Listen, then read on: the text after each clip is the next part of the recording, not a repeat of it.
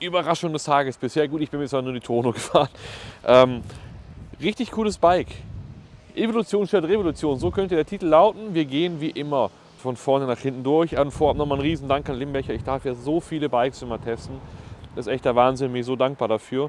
Deshalb gerne mal ein Like da lassen auf Insta oder so bei den Jungs. Ist wirklich, wirklich ein cooler Laden und die größte Motorradmesse irgendwie so in der Region Stuttgart. So, erste Eindrücke.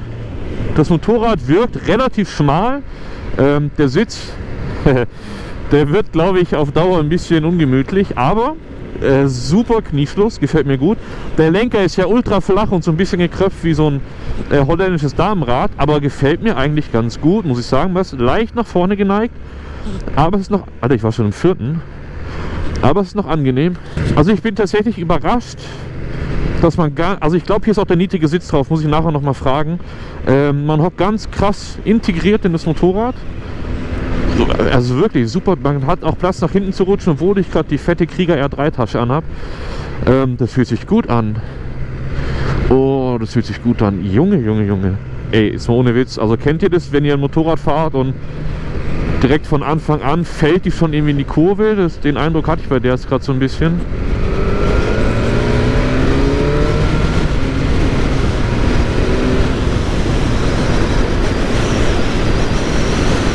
Super smoother Quickshifter. Unfassbar schön. Junge, Junge.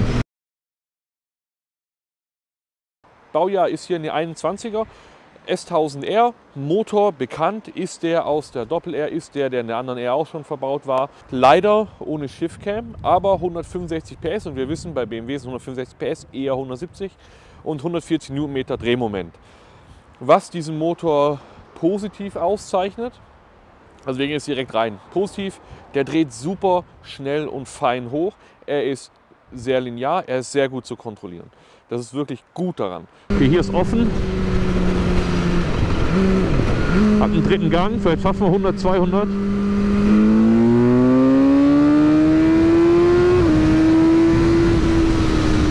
leider Verkehr und wir müssen da raus. Sauber, sauber, sauber, sauber. Schlecht ist, ich weiß nicht, ob es nur, nur im Kaltstart war so. Er hat am Anfang ganz schön vibriert, so also wirklich diese ganz feinen Vibrationen.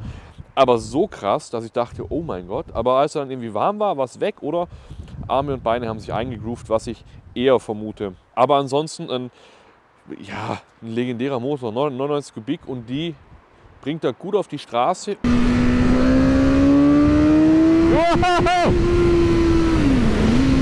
Junge, Junge, Junge! Oh nein, da vorne ist gesperrt, wir müssen noch mal kurz. Oh, die drehen aber hoch, Alter. Oh, die Vibrationen sind aber wirklich heftig. Ich habe es in dem Video mal erklärt. Ich weiß nicht, ob das schon rausgekommen ist, warum die so vibriert. Aber die vibriert wirklich heftig. Aber die dreht gut hoch, ey. Leck mich am Zuckerle. Uh, das kitzelt überall. Aber kein Motorrad gehabt, was so kitzeln an Fußrasten. Sag mal, das ist ja nicht normal. Also, schon ein bisschen störend, muss man ehrlich zugeben. Interessant ist auch, die Vibrationen sind weg oder ich habe mich einvibriert.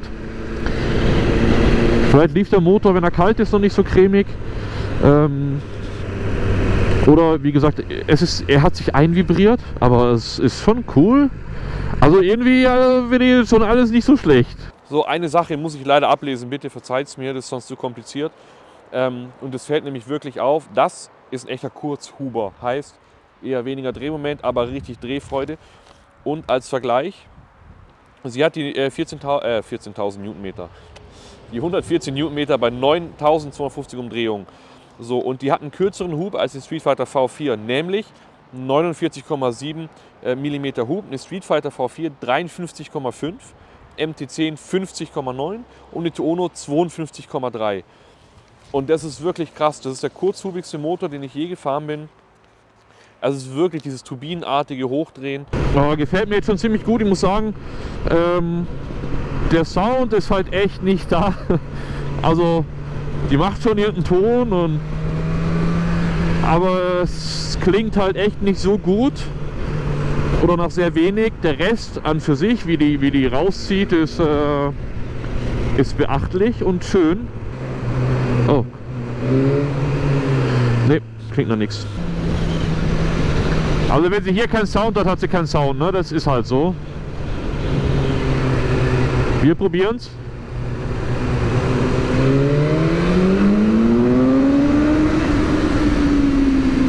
Laut wird die halt schon, ne?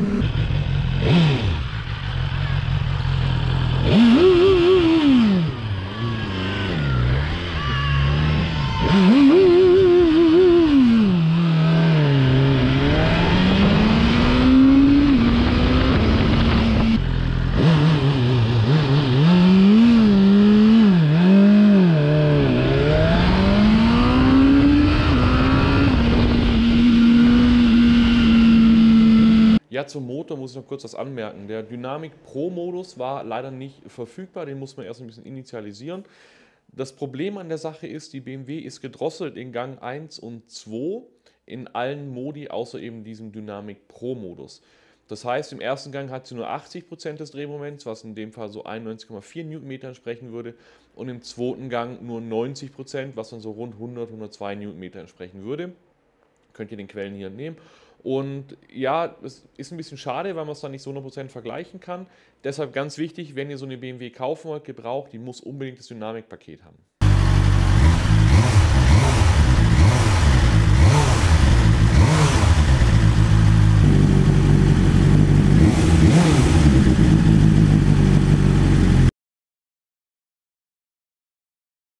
Motor in Kombination mit dem Fahrwerk. Warum ist es so geil? Für einen Vierzylinder baut die ziemlich schmal. Ähm, Fahrwerk ist elektronisch ein bisschen änderbar, einstellbar, merkt, also man merkt es auch. Und äh, es funktioniert sehr, sehr gut. Sie lässt sich brutal leicht in Kurven legen. Also äh, gar, kein, gar kein Widerstand, wenn man die in eine Kurve schmeißen will. Hat mir sehr gut gefallen bei dem Motorrad. Lenkbefehle hast du irgendwie gar nicht gebraucht. Das war so wirklich Kurve gedacht, Kurve gemacht. Aber die ist sehr einfach zu fahren. Die fühlt sich sehr, sehr leicht an. Ich meine, vollgetankt hat das Motorrad 199 Kilo, wenn man nicht äh, die Schmiedefelgen nimmt oder Carbon, schon gar nicht. Dann sind wir bei 199 Kilo. Das ist nicht so viel. Das ist schon echt gut.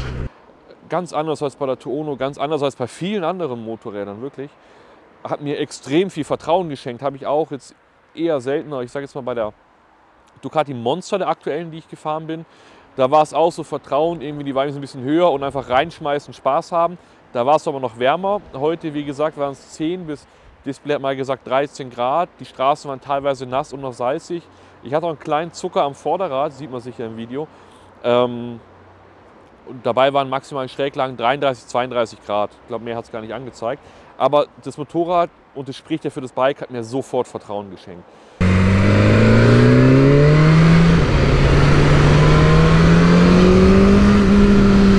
Ist. Ui, aua, au. aua. Habe ich vergessen, diese Bodenwelle. Da kriegst du auch jedes Mal eine mit.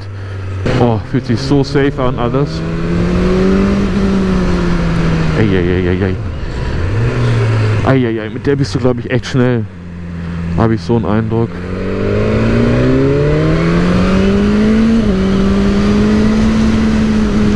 Der bewohnt Oh, das ist geil Offroad.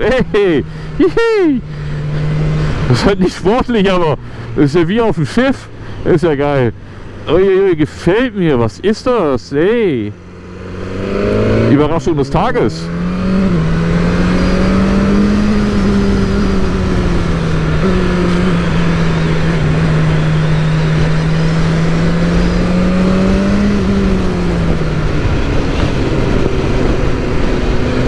Müssen wir nur noch rausfinden, wo wir Schräglage finden. Ha? Was haben wir jetzt? 32 Grad links und 33 rechts. Ist eigentlich krass. Also ich hätte gedacht, ich bin jetzt nie über 25 gekommen. Und schau mal, ich habe irgendwie nie hart gebremst, aber es hat sich echt übelst angefühlt. Also übelst. Äh, geil. Bei den Bremsen müssen wir ein bisschen aufpassen, je nach Baujahr. Es war so, die wurden am Anfang ausgeliefert mit Brembos, die Brembo extra für den BMW gefertigt hat. Da gab es dann wohl Probleme. Dann wurde auf äh, Bremssättel getauscht von der Firma Hayes oder Hayes. Ähm, erkennt ihr daran, dass eben BMW draufsteht und nicht Brembo und dann wird zurückgewechselt auf Brembo. Also da eventuell aufpassen, ob es da vielleicht mal Veränderungen gab. BMW hat keine radiale Bremspumpe, leider eine axiale Bremspumpe und auch so einen dulli gegossenen Bremsflüssigkeitsausgleichsbehälter und die ist auch nicht so fein einstellbar oben. Also ihr könnt ja bei der Speed Triple zum Beispiel, könnt ihr den Druckpunkt einstellen oben, brutal genial. Das geht bei der BMW alles nicht. Aber sie, die Bremsen packen unfassbar gut zu. Also wirklich, wirklich gute Bremsen, ähm, obwohl es eben nicht die super krass Top-End sind. Ja, die Street Fighter und die Speedy, die haben noch, einen, noch einen schärferen Biss, den man meiner Meinung nach aber tatsächlich wirklich nicht braucht. Und vielleicht die Hebel noch tauscht, dann seid ihr mit der BMW auch echt gut bedient. Ähm, man ist extrem gut integriert, ganz toller Kniewinkel oder äh, Knieschluss, Entschuldigung. Und der Kniewinkel war nicht mal störend, wobei ich glaube, das ist die niedrige Sitzbank, wenn mich nicht alles täuscht. Kleiner Abzug, die ist echt hart. Das hat nicht so einen Spaß gemacht, aber ich glaube, das ist auch die niedrige. Ähm, ansonsten war der Kniewinkel wirklich in Ordnung. Man konnte sich super positionieren. Man hat, und das war bei der Ducati zum Beispiel nicht so bei der Monster, hier nach hinten unfassbaren Platz, äh, um sich zu positionieren. Ja, ich hatte jetzt halt dieses riesen äh, Backpack an. Aber so, ich bin 1,81 Meter ähm, und schaut mal, was ich da für einen Platz noch habe. Ne? Also da habt ihr wirklich alles, um, um zu spielen und ein sehr leichtes Motorrad, 199 Kilo vollgetankt, ohne die Schmiederäder, ich glaube 198 mit Schmiederäder. Der Lenker fühlt sich, also ich war ganz safe, der Lenker muss sofort getauscht werden. Jetzt weiß ich gar nicht so genau, man ist ein bisschen nach vorne geneigt, man hat im, auf die Kamera gehauen, man hat im vorderen Bereich der Schulter einen, leicht, einen leichten Hauch von Druck, den, man, den ich jetzt noch gut mit dem Rücken alles halten kann, aber ähm, ja, ein klein wenig spürt man da was. Was ich noch interessant fand, ist der Lenker, der ist ja relativ, also der ist ja flach eigentlich und nur ein bisschen nach hinten gekröpft. Wenn der noch, also ihr seht, ich habe ja ein bisschen kurze Arme, also so wäre er super aufrecht, ja. Und so weit muss ich nach vorne gehen. Wenn der jetzt noch so ein bisschen höher kommt, ey, dann hockt ihr da brutal bequem drauf. Und dann noch ein richtiger Sitz, der nicht so hart ist, ist es fast schon reisetauglich. Das Schild hier ja, abmachen, wegschmeißen. Aber sonst äh, vom Fahrwerk her, vom Fahrgefühl mega. Wenn ihr normale Arme habt, meine sind so zwei Zentimeter zu kurz, ähm, wenn ihr normale Arme habt, dann wäre das euch sehr gut. Aber ansonsten 20 mm höherer Lenker oder ein bisschen mehr Kröpfung nach oben. Und ähm, das ist fast tourentauglich. Wenn man den Sitz noch zum L-Laut bringt oder E-Laut, dann ist das Ding eigentlich tourentauglich. Ja, die Veränderungen am Fahrwerk waren so mit die größten Veränderungen zusammen mit der Elektronik. Den Lenkkopfwinkel ein bisschen steiler gestellt, der Nachlauf wurde ein bisschen kürzer, die Schwinge hat man ein bisschen verlängert und man hat den Motor ein bisschen steiler gekippt und mittragender gemacht in diesem Flexframe. Und ich weiß nicht, welche Veränderungen und alle zusammen. Es war die Tausender, die sich am einfachsten fahren ließ von allen Bikes, die ich in der Klasse bereits gefahren bin. Und wirklich, wirklich beeindruckend. Ähm, ich bin tatsächlich geschockt davon, wie einfach und gut die BMW zu fahren war. Und kleiner Wink an Yamaha, die BMW hat ab Werk immer Stahlflex Bremsleitung. Thema Elektronik. Ja, die BMW hat ein super fein ablesbares Display. Irgendwo hier drin ist eine 6-Achsen IMU versteckt. Das heißt Schräglagen, ABS und alles da, volle Hütte. Und ich glaube, mit einem Dynamic Pro Paket kannst du dann auch alles einzeln regeln. Also kannst du Wheelie-Kontrolle ausmachen und den Rest anlassen zum Beispiel. Ansonsten hat die äh, Dietz hat das Turmpaket, dann habt ihr ein Keyless Ride. Das heißt, einmal hier drauf drücken und dann geht die Zündung an und die hat auch Griffheizung. Funktioniert auch sehr geil. Und die Einstellung funktioniert dann über, diese, über dieses BMW-Rad. Vielleicht muss man da ein BMW-Typ für sein. Ich mag es nicht. Ich komme damit nicht klar. So, wenn man ausmachen will, wieder draufdrücken. Ansonsten hier auf den Starter und los geht's. Modes kann man hier drüben einstellen. Das waren, äh, ich glaube, drei Fahrmodi. Aber ich, äh, ich fand es schwer so von der, von der Haltung her. Habe dann teilweise mit dem Finger drauf gedrückt statt eben mit dem Daumen und habe es mal so versucht. War jetzt nicht ganz so. Ansonsten ähm, könnt ihr alles auf der linken Seite einstellen und die haben einen Knopf für alle Elektronik aus, also alle Helfer. Ich glaube ABS, also nicht alle, ich glaube ABS äh, geht aus. Äh, ABS geht nicht aus, aber Traktionskontrolle und Wheelie-Kontrolle ähm, gehen dann aus. Oder so. Ah, ah, ah. Tilly überfordert, aber Griffheizung fetzt. Wo ist die Reichweitenanzeige? Was ist, wenn ich hier drehe?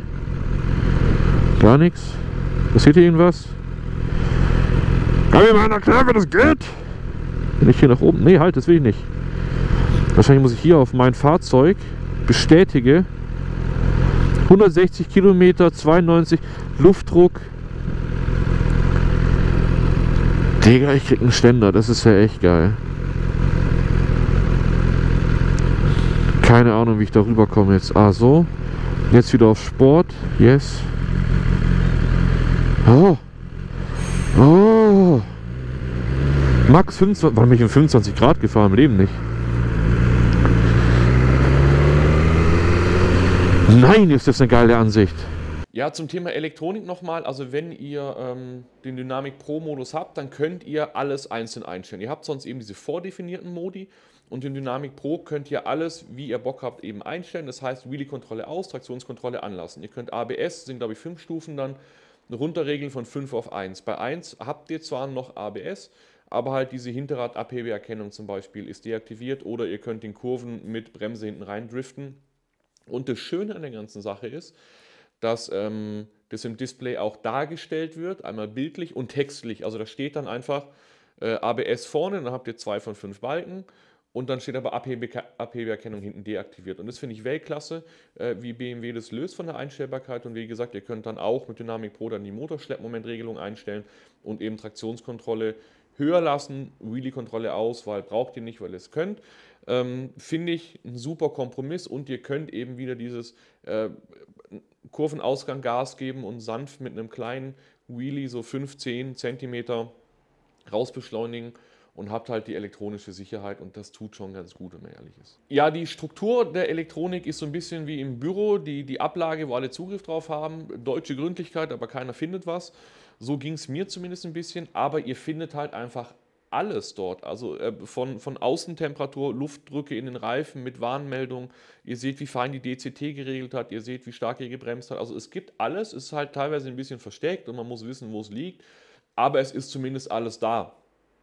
Und auch die von den Farben her, wie das Display das darstellt, einmalig. Ähm, Im Sportmodus habt ihr dann gesehen, habt ihr einen Schräglagensensor, der zeigt euch dann auch die maximale Schräglage an und ihr könnt noch alles mit der BMW-App vernetzen. Habe ich nicht probiert, soll ab und zu Probleme bereiten. Aber Display ist und Darstellung der Elektronik herausragend gut. Thema Getriebe, eins der besten auf jeden Fall, schaltet sich extrem leicht, äh, also ich habe es getestet, das muss man auf jeden Fall einblenden, wie äh, ich glaube bei 50 in 6. Gang mit einem Quickshifter. Alles kein Problem. Getriebe ist langsam auch auf Temperatur und fühlt sich gut an. Mmh. Wir probieren mal Quickshifter bei 30 im dritten, im vierten. Ah komm, bei 40 im fünften. Ah ja, im sechsten. Macht er! Was ist los mit den Dingern? Klonkt halt weniger als das von der Tono. Das von der Tono ist halt so ein bisschen Rennsportmäßiger irgendwie. Das ist halt unauffällig, aber es funktioniert einfach gut. Wirklich sehr, sehr gut, dass sie sehr fein schalten. Anmerkung noch zum Getriebe. Ja, es ist äh, knackig übersetzt. Es ist, glaube ich, die ersten beiden Gänge haben die gleiche Getriebeübersetzung wie die Doppel-R. Es ist kürzer übersetzt als eine MT10. Und ähm, wer Sorgen hätte, dass ihr aus der Spitzkehre nicht ganz so gut rauskommt, ihr könnt am Kettenblatt was ändern. Ich habe es einmal hier durchgejagt und ihr seht, ein Zahn mehr hinten auf dem Kettenblatt und ihr kommt immer noch auf eure echten 250 km/h zwei Zähne mehr und ihr landet bei 12.000 Umdrehungen bei 245 km. Die Drehzahl bei 100 km erhöht sich im 6. von 4.500 auf 5.000, wenn man eben von 3% Schlupf ausgeht. Es gibt also noch einen gewissen Spielraum, der eintragungsfrei ist, wo man die Kette nicht ändern muss, ähm, wo man einfach sagt, okay, ich hole mir ein neues Kettenblatt, die kostet um die 50 Euro, um noch so ein bisschen mehr äh, Drehmoment äh, rauszukitzeln. Und ansonsten schaltet das Getriebe so unauffällig, dass man echt aufpassen muss, dass man gar nicht mitkriegt, dass man geschalten hat. Das nächste Thema Alltag. Ja, Thema Alltag wird die so ziemlich äh, alles gewinnen bei den Nakeds wahrscheinlich, weil die sich sehr gut fahren lässt in hohen Gängen, ähm, langsamen Geschwindigkeiten. Super geile Kupplung mit einer der schönsten Kupplungen, die ich je hatte. Bremse funktioniert super. Also Alltagsnutzen denke ich äh, relativ hoch. Man, ich habe schon gesehen, dass es hier die Halterung gibt für Gepäckmöglichkeiten. Hier muss man auch wieder was austauschen, mit die SW Motec Sachen dran gehen. Aber ihr habt auch ein bisschen Platz. Sogar das Sitzkissen für einen Sozius ist gar nicht mal so klein. Inklusive fand ich auch schön, dass ein Motorrad sowas hat. Ähm, am Anfang wird die Drehzahl farbig, je nachdem, ob es schon warm ist oder nicht. Heißt, ähm, auch da hilft sie euch noch, ja, dass ihr nicht zu früh zu hoch dreht und den Motor schon. Also, was wünscht man sich von einem Motorrad noch mehr? Ja, hier kann ich gar nicht genug betonen, wie sehr die BMW einen nicht anstrengt. Also dieses, ähm, ihr habt vielleicht weiter, bis ihr mal ein bisschen schneller fahren könnt. Also 200 Kilometer Anreise, dann ballern und am Abend vielleicht 200 Kilometer zurück. Von allen Nakeds wird jetzt der BMW am ehesten zutrauen. Vor allem mit dem Komfortpaket, Tempomat rein, Griffheizung an. Da könnt ihr auch morgen schon die Alpenpässe hochfahren. Und ihr seid einfach nicht angestrengt, weil ihr einfach keine Kraft benötigt, dieses Motorrad zu steuern. Und das ist eine Art passive Sicherheit auch und die halt auch Spaß macht, weil man einfach nicht K.O. ist und weil man halt eben dann auch länger fahren kann im Zweifel. Die BMW ist ein Naked Bike, klar, das heißt Winddruck am Oberkörper habt ihr volle Kanne, vielleicht das Windschild, was ihr vorher weggeschmissen habt, doch wieder dran bauen. Ähm, der Lenker, wie gesagt, ein bisschen höher, ein bisschen bessere Sitzbank drauf und ihr habt einfach ein, ein echt scharfes Naked Bike, das super einfach zu fahren ist, mit dem ihr auch gut in Urlaub fahren könnt. Also von der Vielseitigkeit her sehe ich da BMW und Super Duke fast auf dem, auf dem gleichen Niveau auf jeden Fall. Aber jetzt folgen noch ein paar Anmerkungen zur Verarbeitung der BMW. Hier sind halt so Plastiksachen. Äh, ich weiß nicht, BMW. Ich weiß nicht, ich weiß nicht, ob die lange so schön Plastik bleiben oder ob das halt, also zumindest hier vorne, vielleicht kann man es auch folieren lassen, wäre lackiert wirklich schöner gewesen. Und hier tut es auch schon so ein bisschen kratzen und man sieht dann hier so eine kleine Kante und so. Mh, mm, ärgerlich. Das sind so diese Kleinigkeiten, die mich dann immer stören. Ja, die grundlegenden Sachen, die, die wichtigen Sachen, also äh, Rahmen, Schwinge, Motor, Gabel, top verarbeitet, wirklich sehr, sehr gut. Aber wenn es dann halt an die Plastikteile ging, also da könnte ich diese Einkäufer ohrfeigen. Das ist teilweise, das ist wirklich dreist. Ne? Das ist wirklich dreist. Der Kunststoff war so billig, den konnte man so richtig verbiegen. Und ja, man könnte ihn vielleicht folieren, damit es auch nicht so ganz schlimm aussieht oder durch Carbon austauschen, wenn es der Geldbeutel mitmacht. Aber gerade im Bereich vom Sozius-Sitz, also unter dem Sozius-Sitz, wo man vielleicht ähm, mit seiner Hecktasche hier, wo man vielleicht öfters dran stößt, äh, das, das war schon verkratzt am Vorführbike mit 4.500 Kilometern. Und das verstehe ich nicht, wenn man da so einen weichen Kunststoff hinmachen kann. Das ist wirklich kein Qualitätsmerkmal und ist wirklich eine kleine Schande. Ja, vielleicht wollen wir auch über diesen Elefanten im Raum sprechen. Über das Design der Maske vorne. Ich filme mal aus der Hand raus mir gefällt sie mittlerweile. Ich finde es jetzt nicht die geilste Maske der Welt, ja, aber ich finde es tatsächlich nicht schlecht. So. Kann man schon so lassen. Das glaube das, wo es die meisten dran stören. Ich finde es viel geiler als die von der alten. Und doch, sieht, sieht ordentlich aus. Also sieht in live auch viel besser aus als auf Bildern. Ist ein bisschen nur nach 15 Gesicht, gebe ich zu, ja. Aber ich finde es nicht schlecht auf jeden Fall. Als Fazit, ich bin wirklich positiv überrascht. Ähm, Fazit Motor, ja, man muss ihn auf Drehzahl halten, ist schon so. Ab 7, äh, 6, 7000 packt er halt richtig zu und dann haut ihr aber auch einen raus. Schön, schön zu fahren, einfach zu fahren, das Motorrad, macht was es soll, gibt dir ganz viel Vertrauen. Äh, positiv überrascht, also so positiv wie es sein könnte. Motorräder sind, es ist halt mega subjektiv alles, ne? Und es ist halt das, worauf ihr gerade irgendwie abfahrt. Ich sag mal, die Toono hat mich jetzt persönlich vorher nicht so gekickt, keine Ahnung warum. Auf der fühle ich mich gerade viel heimischer, kickt mich gerade viel mehr, aber es ist halt irgendwie auch so situativ. Ähm, wenn ihr Motorradfahren lernen wollt, würde ich auf einer Tausender und mit Schräglagen und so ist das, glaube ich, viel einfacher. Also gefühlt. Ne? 33 Grad, überleg mal, ab 40 kannst du easy äh, Knie schleifen. Aber das hat sich hier nichts nach 33 Grad angefühlt. Das war jetzt echt ein gemütlicher Sonntagsausflug bis jetzt. Abgesehen davon, dass meine Poperze schmerzt von diesem Sitz. Ah, halt, wir müssen ja auch wieder auf Road stellen für die Oppas. Oppa-Modus. Also ich sag mal so, wenn das Ding jetzt nicht gerade rot ist und wenn ich brauche diesen goldenen Heckrahmen, ist es schon irgendwie geil. Es ist schon irgendwie geil. Ja, das soll es gewesen sein. Jetzt schnapp ich mir noch eine Street Fighter V4 und dann schauen wir mal, was das beste Naked ist. Ansonsten bis zum nächsten Video.